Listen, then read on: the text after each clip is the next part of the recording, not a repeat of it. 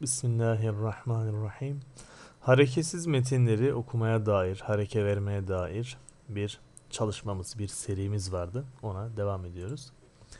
El-ef'alu en-nakısatu. Nakıs fiiller başlığı altında bir şiire yer verilmiş. Derseniz başlığı irdeleyerek başlayalım. Şimdi el-ef'alu merfu okuduk. Bu cümle şurada yani hemen sağ tarafta mahzuf yazıda yer almayan bir takım kelimeler veya en azından bir kelime mevcuttur. Çünkü el ef'alu en nakısatu nakıs fiiller demek. Nakıs fiiller ne? Nakıs fiiller ne yani? Durduk yerde nakıs fiiller dersen kişinin zihninde bir şey oluşmayabilir. Ama şuraya yazarsın. Hade dersu bu dersi var ya nedir? Nakıs fiillerdi. Veya hiye bu nedir? El efalun nakısatu nakıs fiillerdir şeklinde bir şurada ne olması lazım? Mahzuf müpteda. İstersen burada hadihi dersin. İstersen hiye dersin. Bu sana kalmış. Niye müennes seçtik? Çünkü el efal fiilun fiilan efal cemi mükesser gayri akıldır. Müfret müennes hükmündedir. Bu yüzden buraya getireceğimiz müptedada müfret müennes bir lafız olması gerekiyor. Sen seç. İster hadihi de, istersen hiye de, Önemli değil. Müptedadır. Elefal lafzı haberdir. En nakıs lafzı da elefal lafzının sıfatıdır. Demek elefal niye merfu olarak harekeleniyor? Haber olduğu için. En nakısa niye merfu olarak harekelendi? Merfu bir lafzın sıfatı olduğu için. Elefal lafzı neymiş? Hem mefsuf hem mefsuf hem de haber imiş. Sıfat en nakısat o sıfatta direkt mühendislik tası. Tay merbuta var. Laf e, mevsufumuzda yok ama gayri akıldır. Fiillerde zeka yoktur. Bu yüzden müfret müennes kabul edilmektedir. Sıfatı da müfret müennes olarak geliyor imiş. Peki şimdi şuraya geçelim. Kale dedi. Kim? Hasan bunu Sabitin. Hasan bin Sabit. Sabit'in oğlu Hasan. Hasan bin Sabit diye okunur da Sabit'in oğlu Hasan demektir. Çünkü bin oğul demek. Sol taraftaki baba sağdaki çocuk manasına gelmektedir. Burada ayrıca nelere değinebiliriz? Gale dedi fiil, mazi fiil, fetha üzeri mebnidir. Ee, Hasan lafzı fail olduğu için merfu olması lazım.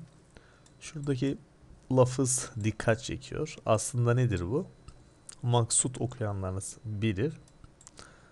Şöyle bir lafız vardır. İbnun, İbnemun, İbnetin, ismin istineymunin diye devam eder değil mi? Bir takım lafızlardan bahsedilir. Ee, orada hemze-i vasıllar anlatılır. Yani İbnü kelimesinin evvelinde bulunan bu hemze nedir? Hemze-i vasıldır. Hemze-i vasılla alakalı şunu herkes bilir ki sağ taraftan bir harf ile bir kelime ile okumaya devam edersen hemze okunmaz direkt ba'ya geçiş yapılır. Bunu herkes biliyor. Bir de ne var? Hemzenin yazıdan silinmesi söz konusu bazı durumlarda. Hemze yazılmaz. İşte yazılmamış burada. Metinde neden hemze yazılmamış? Şurada olması gereken hemze yok. Çünkü ibn lafzının sağ tarafında özel isim, sol tarafında özel isim mevcut. İbn lafzının sağında da özel isim, solunda da özel isim olduğunda hemzesi yazılmaz. Bu yüzden yazılmamış. Ayrıca bu lafızda sağ taraftaki lafızdan bedel olmalıdır. Bedeldirler. Bu yüzden sağdaki hasanu merfu olduğu için bin lafzı da merfu oluyor. Sağındakinden bedel, solundakine muzaftırlar. Sabitin bu da muzafın ileyh olduğu için mecrur olması gerekir.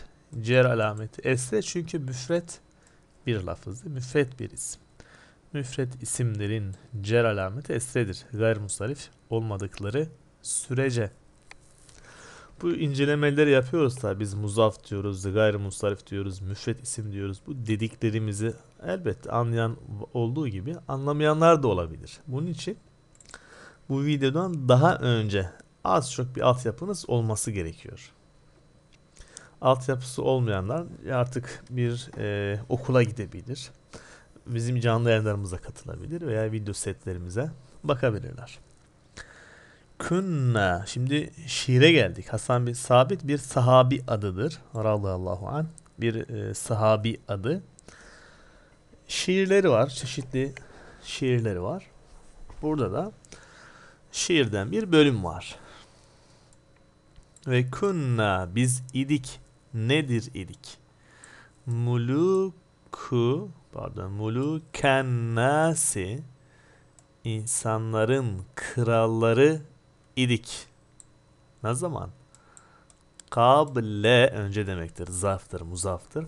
Kable Muhammedin, Muhammed Aleyhisselam'dan önce insanların kralları idik. Biz idik. İslam gelmeden önce öyleydik. İslam gelince ne oldu? Felemma her ne zaman ki eta geldi el İslamu. İslam e ne oldu? Kâne oldu lena bizim için ne oldu? El fazlu bir lütuf, bir değer, bir üstünlük oldu, sağlandı. İrabul müfredati lafızların irapları. Lafızların iraplarına şimdi geçecek. Yani hada bu başlık şimdi şerda bahsedilecek olan şeyler nedir? Hada bu nedir? İrabul müfredat. Lafızların irabıdır. Burada mahzuf müpteda, irab lafzı haber artı muzaftır. Ve künna kitabımız az önce vermiş olduğu metni ne yapacak şimdi? İrdeleyecek. Diyecek ki buradaki şiiri ben sizler için irdeleyeyim. Künna var ve künna. Buradaki vav'ı direkt değerlendirmiyor. Çünkü diyor ki çünkü vav lafzı kendisinden daha önce geçmiş olan cümlelere bağlı olarak değerlendirilir. Daha öncesi yok burada. Direkt buradan başlamış. O zaman sağ tarafta ne varsa artık ona göre değerlendirilir. Direkt bir değerlendirme yapılmamış. Ama künna ile alakalı künna dahil olmak üzere bundan sonraki lafızlar birebir irdelenecek. Künna. Künna nedir? Künna Künna'da öncelikle biz bir açalım. Künna şudur esasen. Bir tane kâne lafzı var. Nakıstır. Artı bir tane de naz zamiri var. Hani ketebtu ketebna fetahtu fetahna haractu haracna biz manasında nefsi mütekellim mali gayr diyoruz. Biz manasında birinci şahıs zamiridir. Na. E, kendi de bir tane nun var ve çekim yaptığımızda keteb tu nasar tu fetah tu ne demek istiyorum? Keteb ne fetah ne harac ne yani na zamirin sağ tarafındaki harf sukunla yazılır demek istiyoruz. Bundan ötürü künna'yı tam olarak yazmak istediğimizde şöyle bir şey çıkar karşımıza. Kün artı na şeklindedir o. Kün artı na. Kün fiil kısmıdır. Na nedir? Zamir kısmıdır. Kâne tam fiil olsaydı ketebe, nasara, fetaha gibi na zamiri fail olarak değerlendirilir idi. Ama kâne nakıs bir fiildir. Nakıs ile bitişen zamirler onların isimleri olur. Kün ne. Şimdi iki tane nun var yan yana görüyorsunuz. İlki sakin, ikincisi harekeli. İdgam burada zorunlu. Vacip yani tam olarak kitaplardaki hükmünü söylersek. Bundan ötürü burada ne yapıyorsun? İdgam yapıyorsun. İdgamdan bedel iki harften birini silip diğerine şedde veriyorsun. Künna oluyor. Budur yani. Bu anlattığımız daha çok Maksut İzzi gibi kitaplarda, klasik kitaplarda geçen bir bilgidir. Bununla birlikte şimdi burada ne yazıyor? Künna yazıyor değil mi? Kef var, nun var, elif var. Künna. Oysa ki fiil aslında nedir? Kânedir. Kâne'de aslı itibariyle kevene idi. Kevene.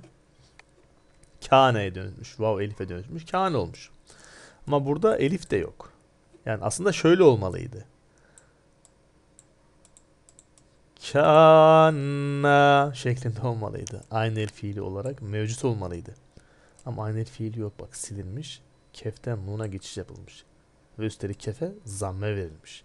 Bunların gerekçeleri ayrıntılı olarak İzzi adlı kitapta biz ifade ettik. Farklı örneklerde verdik. Bu işin ilal kısmı, nahiv kısmı değil, irab kısmı değil. O yüzden bu bilgileri burada bulamazsınız. Ben buraya göre tekrardan devam etmek istiyorum. Künna nedir? Künna esasında dediğimiz üzere bir adet kane, bir adet de na'dan oluşur. Kane nedir? fi'lü madin. Evvel o nedir? Bir mazi fiildir. Öyle fiil ki nakısun, nakıs bir fiildir. Niye nakıs deniyor kâne ve benzerlerine? Merfusuyla tam olamayıp mensuba ihtiyaç duyduklarından dolayı böyle deniyor değil mi? Mebniyun o e, kâne fiili mebnidir. Yani donuk olarak yazılır. Ne üzere? Ale sukuni, sukun üzere. Künna şuradaki nun nedir? Künna bunu açılımını yazarsan şöyledir. Az önce yazdım gerçi. Künna kâne nedir? Sukun üzere mebnidir. Kâne'den maksat sonuncu harfinde sukun var yani. E niye? İttisalihi kendisine bitiştiği için ne? Bir damiri raf'in. Raf zamiri kendisine bitişmiş. Raf zamirinden maksat da na'dır. Ve na, na nedir peki? Zamir muttasilin. Kendisi muttasıl bir zamirdir. Mebniyun ale sukun. Sukun üzere mebnidir. Nitekim sonuncu harfi eliftir. Elif hareke kabul etmez. Nundaki hareke önemli değil yani. Fi mahalli raf'in mahallen merfudur. E niye? E çünkü ismidir. Kane'nin ismi olduğu için. Kane ismini raf ettiği için ne olması lazım? Merfu olması lazım ama zamirdir. Zamirler mebnidir. Mebniler mahallen irap alır kaidesinden ötürü merfuluğunu lafzen göremiyorsun. Künne şeklinde. Bu nasıl merfu diyebilirsin. İşte lafzen sükun üzere mebni ama mahallen merfu diyoruz. Sıra mülük lafzına geldi. Mülük lafzı cemi mükesserdir. Melik müfrettir. Melikun nedir? Müfret. Melikun müfret muluk cemi mükesser olur. Muluk nedir? Haberu kâne ve de mensuptur. Kâne haberi nasb eder. Bu yüzden kunna muluke muluken nasi ve ve mudafun. Muluk lafzı muzaftır. Ennasi mudafun ileyhi mecrurun mecrurdur. Ve alametu cerrihi cer alameti nedir? El kesratu kesredir yani estre. Nasıl estre?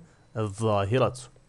Gözünde görebildiğin, telaffuz ettiğin, seslendirdiğin bir kesredir. Yani takdiri değildir. Kable nedir? Zarfu mekanin. Mekan zarfıdır. Ve aynı zamanda nedir? Mensubun. Mensuptur. Kendisi kânenin haberiyle ilişkilidir. Kânenin haberiyle ilişkilidir. Ve he mudafun. Ve o kable lafzı muzaftır. Peki Muhammed lafzı nasıl okunur? Mudafun ileyhi mecrurun. Kendisi mecrurdur. Ve alametul cerri el kesratu el zahiratu.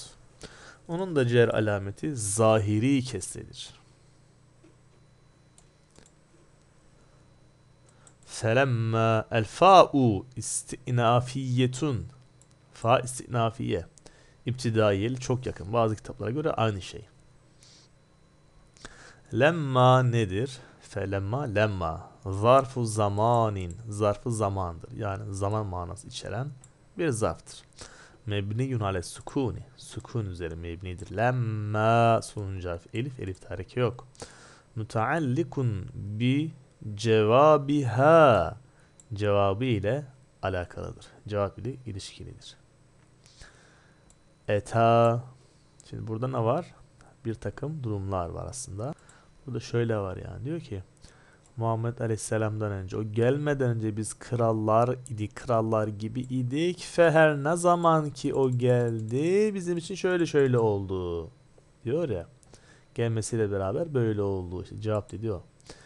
Eta fi'lu madin mebniun alel fethi el mukadderi. Mukadder yani gizli varsayılan fetha üzerine mebni mazi bir fiildir eta fiili Ala ahirihi. Kendi sonuna takdir edilen. Mukadder olduğu varsayılan. Peki niye? Li taazzuri taazzürden ötürü. Taazzür demek imkansızlık demek. Elif yani. Şimdi ne yazıyor burada? Eta yazıyor. Eta fiilin sonuncu harfi eliftir. Elifin üzerine takdir edilen, var kabul edilen fetha üzere mebnidir. Peki elifin üzerine niye e, fethayı takdir ediyorsun? Şöyle yazsaydın ya. Yazamazsın taazzürden ötürü. Taazzür de ne demek? İmkansızlık demek. Yani Elif'in harekeyi kabul etmeyeceği kastediliyor. Edemez. El İslam lafzı esteme üstüm İslam ifal babından mastar. Failun merfu'un bi dammeti zahiret. Zahiri zamme ile merfudur ve de kendisi aynı zamanda faildir. Kâne nedir? Kendisi nakıs mazi fiildir. Aynı zamanda zahiri fetha üzere mebnidir. Lena, lena buradaki lam harfi cerdir. Harfi cer olan lam çoğu defa karşımıza este ile çıksa da bazen fethayla da çıktığı olur. Allamu harfi cerrin. Harfi cerdir. Ve na, na nedir? Zamirun mebniyun ale sukun. Sukun üzere mebni zamirdir. Fi mahalli cerrin. Mahallen mecrurdur. Neden dolayı mahallen mecrur? Gerekçe. Ba sebebiye. Billami lamdan ötürü. Vel cari. Vel cari dedik ama dur bakalım. Billami lamdan ötürü. Lam harfi ötürüdür dedik. Vel carru cardan maksat harfi cer. Yani lena'daki lam. Vel mecruru mecrurdan maksat na. Bunlar nedir? Müteallikani alakalıdır, ilişkilidir. Bir haberin mahdufin hasfedilmiş olan haber ile ki takdiruhu onun da izahı açılımı şudur. Kainen vardır. Kainen. Elfaz lafzı nedir? İsmu ha. Ha lafzı kâne raci olsa gerek değil mi? Bakalım neredeydi lena? Ha, elfaz şuradaydı. Kâne evet. Kâne'nin ismidir. Diyor ki el muahhar. Muahhar demek tehir edilmiş demek. Önce haber gelmiş. O yüzden habere mukaddem isme de muahhar deniyor. Merfu'un merfudur. Merfu bir isimdir. Ve alamet raf'ihi el-zammetu el-zahiratu ala ahirihi. Kendisinin sonuna yani isim lafzının isim miydi? El-fazıl lafzı. El-fazıl lafzı ki lam burada kastediliyor. El-fazıl lafzının üzerine üzerine zahiri zamme onun raf alametidir. El fazılda bulunan zamme, zahiri zamme onun raf alameti olmaktadır. Böylece bir incelemeyi bitirdik. Peşine farklı cümlelerimiz var. İ'rabul cümeli cümlelerin i'rabı diye bir başlık var. Kısmetse onu da farklı bir videomuzda ele alacağız.